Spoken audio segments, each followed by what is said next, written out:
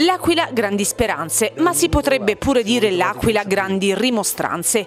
La prima è stata accompagnata da tante polemiche sui social, ma non solo, perché pure la politica è intervenuta a gamba tesa nel dibattito sulla fiction L'Aquila grandi speranze, con la deputata del PD Stefania Pezzopane durissima che ha parlato di grandi bugie, ma anche con il presidente del Consiglio Comunale Roberto Tinari che ha annunciato che farà tutto ciò che è nelle sue corde per ribellarsi a quella rappresentazione data. La fiction in sei puntate del regista Marco Risi, ambientata all'Aquila dopo un anno dal terremoto, è stata bocciata dalla maggior parte degli aquilani. In un'intervista realizzata pochi giorni fa, Risi spiegava come era nata l'idea. Io ero venuto qui la prima volta un anno e mezzo dopo il terremoto, quindi nel 2010, nel settembre-ottobre esattamente, quando si svolge la serie. E, camminando per questa città e sentendo soltanto il rumore dei miei passi mi dicevo anche un po' cinicamente, ma quello è il nostro lavoro, che sarebbe stato bello un giorno fare qualcosa in questa città, un film. Non immaginavo questo film, immaginavo un film di di un'ora e mezza. Sulla fiction è emerso un dibattito vivace, a tratti anche molto ironico, scherzoso, in pieno stile aquilano, che ha scatenato il web. Alcuni hanno già mandato delle mail di rimostranze alla RAI, che ha messo in onda la prima puntata in prima serata, che proseguirà martedì prossimo, ma non solo, perché qualcuno si è spinto pure a chiedere al sindaco di bloccare la messa in onda. A grandi linee il giudizio degli aquilani è stato impietoso sia da un punto di vista tecnico e cinematografico che della rappresentazione stessa.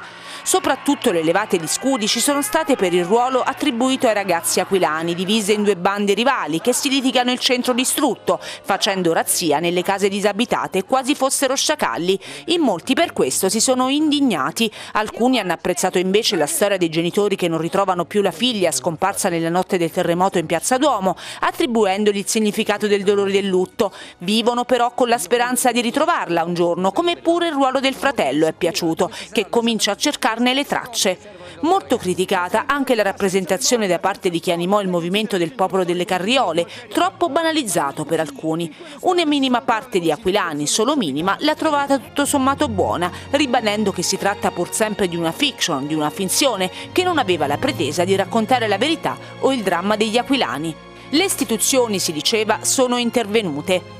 Molto dura la nota della deputata Stefania Pezzopane. Grandi bugie, ha detto, non c'erano e non ci sono bambini incattiviti, organizzati bande a scorrazzare nel centro storico. I nostri figli, allora, dice la Pezzopane, erano lontani sulla costa o nelle tendopoli a provare a superare la paura e a ricostruire vita e serenità. Il sindaco Biondi ha detto di non aver visto la fiction, ma la terra va rispettata, ha anche detto. Lo sforzo che deve essere fatto da tutti, anche da chi recita, in quelli che una volta erano chiamati filmati sceneggiati è di raccontare questa città in coerenza con la realtà. Vanno bene le licenze artistiche, ma ritengo che così come Napoli non sia Gomorra, allo stesso modo l'Aquila non è una città in cui bande di ragazzini si aggirano tra cantieri e puntellamenti. Biondi aggiunge che la narrazione dei fatti attraverso personaggi nati dalla fantasia deve rispettare comunque il passato e il presente di una terra che ha sofferto e che proprio nei giorni in cui si è commemorato il decennale vede riaprirsi ferite ancora non riemarginate. L'Aquila, grandi speranze, prossimamente.